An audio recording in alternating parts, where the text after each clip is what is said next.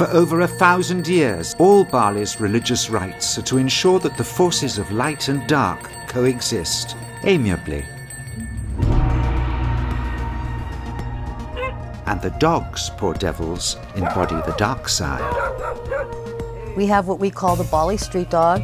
They come up yapping at your heels, and you don't know how dangerous they might be. I come home one night, and there he was, and he bit me on the nose. And I've had him ever since. I just think they're amazing animals. They're strong, they're fiercely loyal, they're funny. Walaupun saya tahu bahwa anjing tidak berpikir.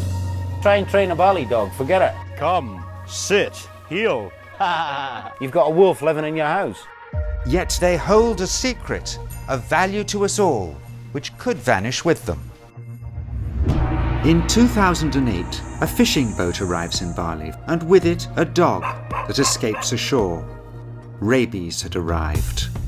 They responded in a way that most governments probably would respond. If we kill the dogs, rabies will go away. Any attempt at reducing the dog population is usually in vain. You know, it doesn't help.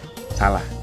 Bagaimana kita menanggung dosa our observations about the dogs of Bali is that they constitute one of the greatest remaining reservoirs of genetic diversity that still remains. Genetics does reveal that Bali's dogs share an evolutionary branch stretching all the way back to the proto-dogs. We don't have all the questions yet to ask, but they're emerging every day. And if we lose these populations, we lose the ability to answer those questions.